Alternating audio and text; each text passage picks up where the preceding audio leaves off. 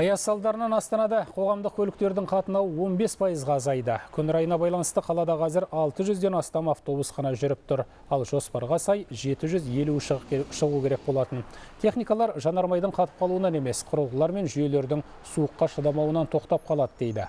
Мұны мамандар әлемдік тәжірибеде бар әлектеп отыр. Сондай қазір қала маңындағы қосшы қоянды талапкер жібек жолы сияқты елді мекендерге қоғамдық көліктердің шығуына рұқсат берілді.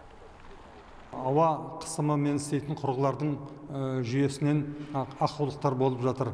Гидравлика жүйесінен ақаулықтар болып жатыр. Ауа қысымымен істейтін құрылғылар мысалы есіктің ашылып жабылуы тормоз жүйесі істен шығып қалып жатқандар бар.